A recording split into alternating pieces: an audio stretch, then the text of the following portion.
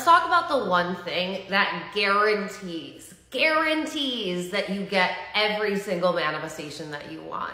Because over my years of being a mentor and being a teacher of manifestation, this one thing consistently across the board are the people that manifest all their desires, and the people that don't have this one thing are the ones that struggle to manifest any of their desires. So if you want to get into my world, get into my Manifestation Academy or get into mentorship with me because we go deep on this in my world. So here's the thing.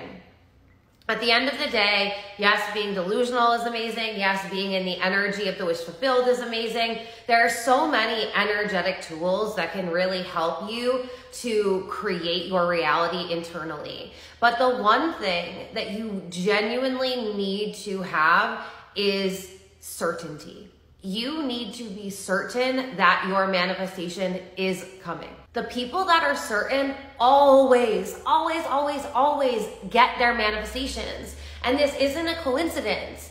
They understand that they are the ones creating their reality.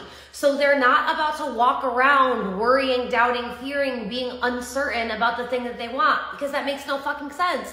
If you want it, you have to be the one that knows without a shadow of a doubt that you get to have it, that it's on its way to you, that it's already here, that of course it's yours. The people that are constantly questioning, wondering, doubting, fearing, feeling uncertain, they're the ones that never actually manifest anything because they're so busy worrying, doubting, fearing, and being uncertain in general about everything that they're always wondering and thinking that it won't happen.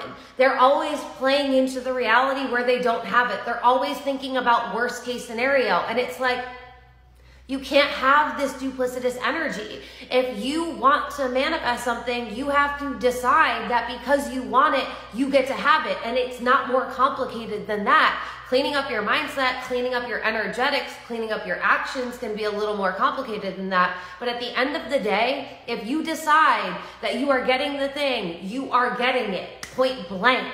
There is no room for you to entertain the stories where it doesn't come in or worry about what happens if you don't get it. Like, you can't keep having one foot in the door and one foot having a plan B because you're spending more time on your plan B of it not coming in. What you focus on expands. So if you're constantly talking about, worrying about, thinking about it not coming in, then it can't come in because you're too busy mentally preparing and rehearsing and talking about and thinking about the reality where you don't have it. And it's like, if you spent all of that time just focusing on the fact that you get to fucking have it and entertaining the stories and the beliefs and the self concept and the feelings of having it already, it would come to you so fucking quickly. You would manifest 17 things in the time that you were trying to manifest the one thing because you weren't actually serious about manifesting it.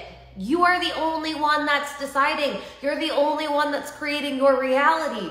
But you have to step into creation mode and get out of uncertainty because uncertainty is always going to block any manifestation from coming in 100% of the time.